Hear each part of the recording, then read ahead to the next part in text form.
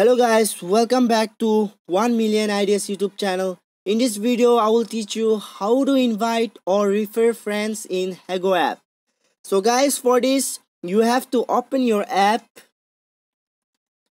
and then you can see an profile icon on the left hand of the screen so you have to click on the profile and you can see invite friends option so you have to click on invite friends option and now you have you can you can refer to anyone from the option so i will show you in whatsapp click on whatsapp and then I will show you how you can invite your friend on WhatsApp. So I will send in this number.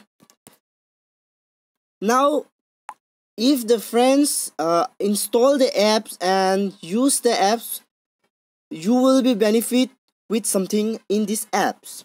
This is how you can refer or invite your friends in Hago apps. Thanks for watching.